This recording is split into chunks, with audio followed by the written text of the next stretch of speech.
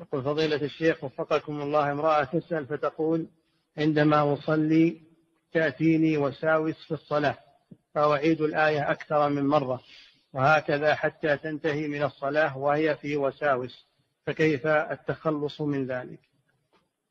التخلص من ذلك بالاستعاذة بالله من الشيطان لا سيما في الاستفتاح قبل قراءة الفاتحة وعدم الالتفات إلى الوساوس. تمضي في صلاتها ولا تلتفت إلى الوساوس ولا تكرر الآيات تبعا للوساوس نعم.